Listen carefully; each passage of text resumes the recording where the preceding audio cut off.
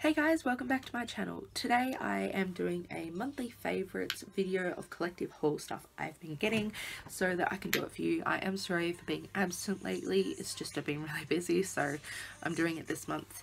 So starting off with two favourite foundations at the moment uh, are Rimmel Wake Me Up and the Rimmel 25 Hour Foundation. This one is super super like it makes me look bright and awake and it already it covers like my little like eye puffles um, second I put it on which is great because it means I don't need cakey concealer on top of all of that. So it's really great. This one is full coverage and looks flawless. I love the finish. It's kind of like a demi matte finish. It's really beautiful. So these two are my like must-haves at the moment and they're super affordable which is like my favorite thing about any foundation. If you can find one that's affordable go for it. Um, lashes at the moment. I love Dodo in D115 I have been lash fanatic at the moment and I don't tend to wear them every day. It's more of like an occasion thing but um, lashes are amazing. I do have a discount code for Dodo so I will link that down below. I uh, also love the Model Rock. These are D W376 so they're a bit wispy and long and I really enjoy them too. And the manicure manicure? Yeah Glam Eyes manicure this is Candace style because I, I take them out of the box because I find them so annoying to keep them in the box. I prefer them like that. So that's what they look like. I really don't like these like wiry things though. They're just a pain in the butt. So I will cut those off. Obviously these are my second set so that's why they are brand new. The Rimmel Contour has been my go-to all the time. It's super great if you're traveling anywhere because it's like three sets in one. Super pigmented, really, really good. Um, I like the glow. It's like really glowy. the contour is great colour, especially if you're pale. And the blush is just a lovely like flushed look. It's really nice and looks natural and it's beautiful.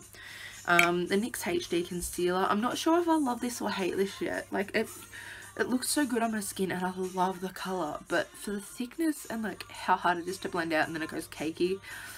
I don't know, like I just need to find a super white concealer. So if anyone knows a super light concealer, preferably that's affordable, let me know. Um, another one I like is the Rimmel Lasting Finish Concealer. This is in the shade Porcelain. This is super thick though. This is a cream concealer that you have to like scrape out. Um, this is great if you need to carve out your brows or if you have like spot pimples you want to conceal. That's what I use it for. But nonetheless, it's great. I got it on eBay for like $5. The Rimmel London Provocalips, these are like 16 hour long lasting lips. This is in the shade Make Your Move, which is like a pinky mauve nude colour. It's great and it lasts super long. Uh, the L'Oreal Lumi Primer obviously makes me look luminous. Um, Bookie Brows have sent, like kindly sent me uh, brow products, which I can open them.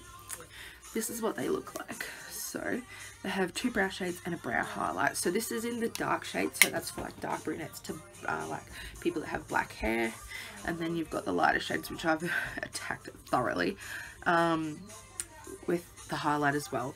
And it also comes with a brush that has the perfect angled brush and a spoolie. This is super pigmented brow powder. Like you barely need any to do your whole brows so that's ace. They're really great um, something I'm not sure if I like or not yet. Like, I like the idea and I like when you swatch it, but when you put it on your face, it separates your highlight and your makeup. So this is a Good to Glow by Rimmel. This is the shade 001 Notting Hill Glow.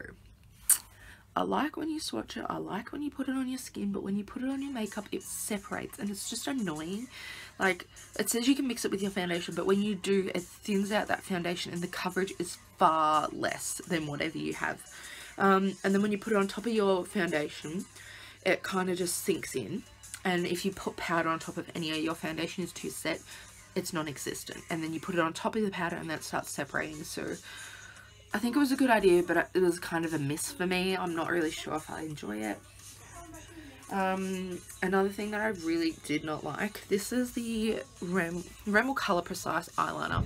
So I really like the tip, but the colour, like, it's black at the moment, but when you go to put it on, it's, it goes like grey and it's not dark. Like, if you can see, I like my eyeliner black.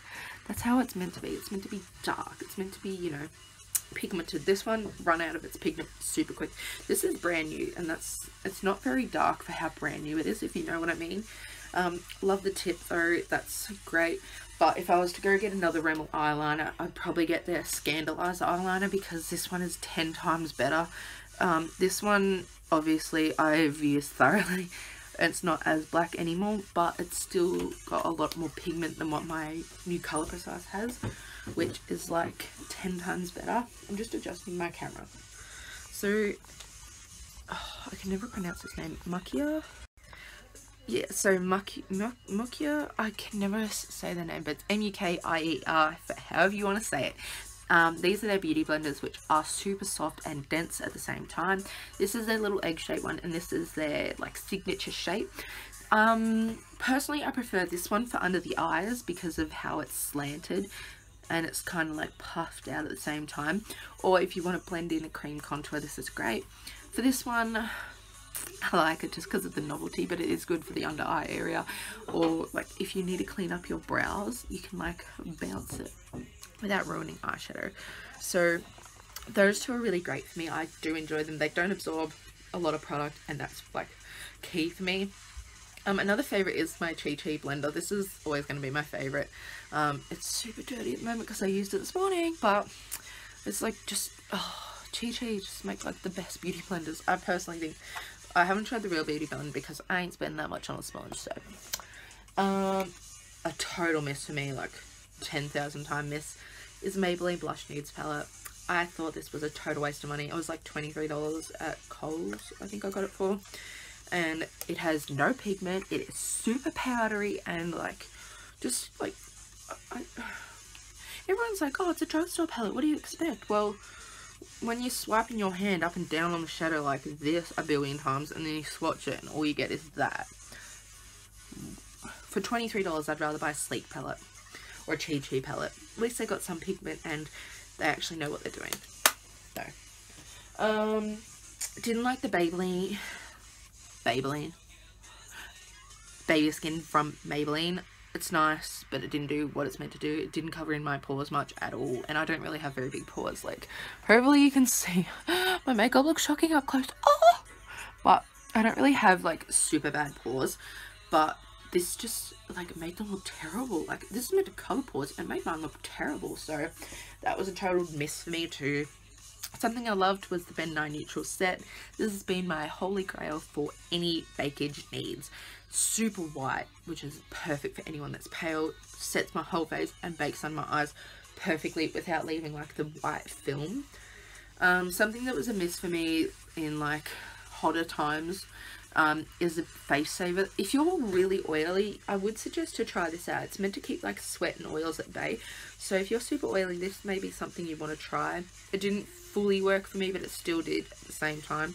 So I may have to play with that a bit more throughout the warmer winter, like warmer winter, like when it gets into like spring kind of time. From Makeup Revolution, this is their palette, the protection, don't know why it's called a protection palette, but it's got three concealers, a powder, bronzer, blush, and a highlight.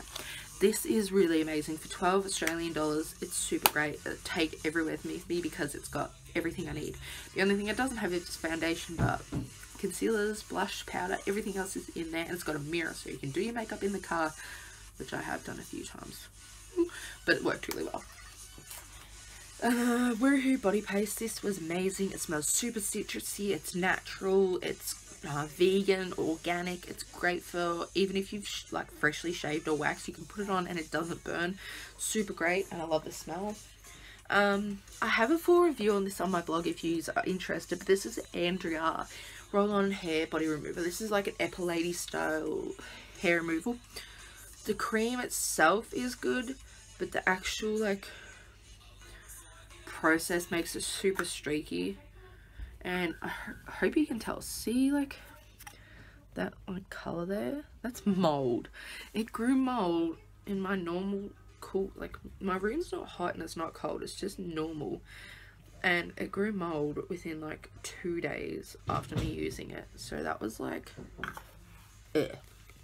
so that one's gonna have to go in the bin um some skincare at the moment is raw Kea Organics. This is mandarin and honeysuckle cleanser. This is for normal to combination skin, so my type. This is perfect. It smells so good. Like I think I just use it for the smell personally. Like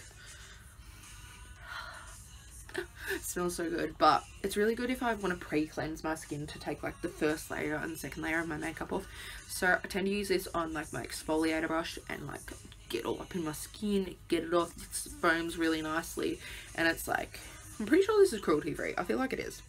Either way it smells really good. And then of course real you cleanser. I love where would my skin be without you? I keep getting this because it's beautiful and my skin looks flawless. I am doing a full like skincare updated video because I have some new tricks and stuff that I have been using to make my skin like even better than it was so stay tuned for that. And last but not least Corinda Organic Skincare. This is their cleanser their purity cleanser. I had like the hardest time trying to get the stuff out in the shower. I was like pumping and pumping and pumping. It was like not coming out. I was like, I found it. It eventually came out. but I'm assuming like this tub, there's like a certain amount where the product starts in the tube and like you gotta pump it in. Anyway, it was a really nice cleanser. Like I still got some left, obviously, but um, I don't know if it did anything different, but it definitely didn't give me pimples, so I'm not complaining on that side of things. Um, it smelled nice, and I love the packaging. I think the packaging is beautiful. I am a sucker for packaging. Like, if I like the packaging, I'll probably like the product majority of the time, but uh, yeah, so that is my monthly favorites, rates, hates. Um, if you want to see any other products or you want me to go in depth on any more, let me know because I'll probably go in depth on my blog and I'll link everything else down below. Thanks.